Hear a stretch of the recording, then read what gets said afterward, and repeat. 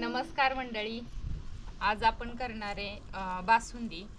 तर बासुंदीसाठी मी दूध घेतलं आहे आता दहा उष्ण दूध आहे आणि इकडं आपलं रात्रीचं दूध आहे. तर दोन्ही करा घेतलेत मी.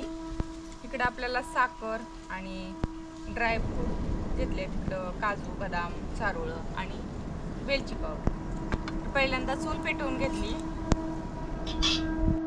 कढई ठेवून घेऊ.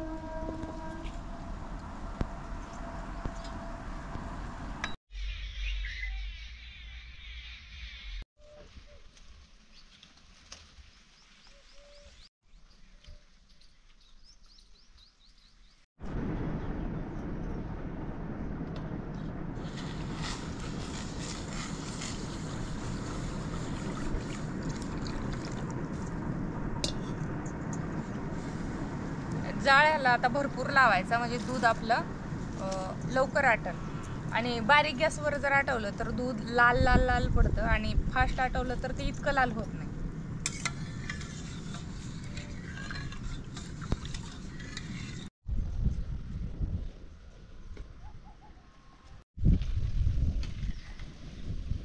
तर दूध आपल्याला सतत असं ढवळत राहायचंय नाहीतर खाली दूध करपू शकतं. त्यामुळे आपल्याला सतत असं हलवत राहायचं आणि साई पण जमा होऊ द्यायची नाही. साई जमा झाली तर मग ती व्यवस्थित होत नाही. एका जागेलाच ती गोळा होऊन बसते साई. आणि ढवळल्यामुळे साई जमा होत पण नाही.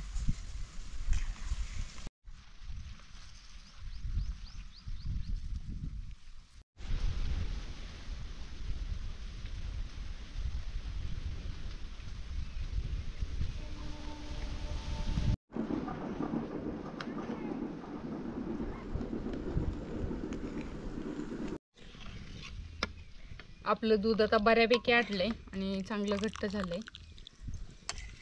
तर तुम्हाला दिसतच असेल. तर आता आपण ह्याच्यात टाकून घेऊ. काजू बदाम पिस्ता.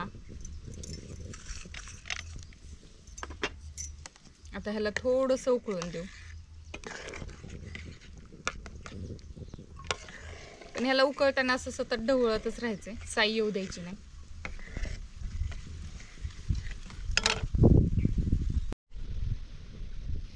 चवीनुसार साखर टाकायची. मी दीड ह्याला एक मोठी वाटी साखर टाकली.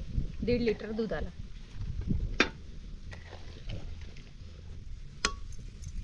चारोळे टाकू.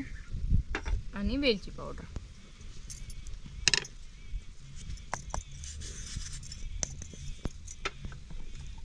आता ह्याला एक दोन मिनटं अजून उकळून घेऊ.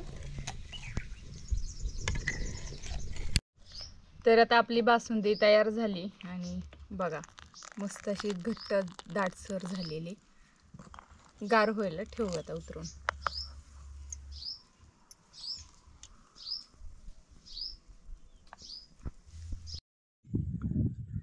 बासुंदी आपली तयार झालेली आहे.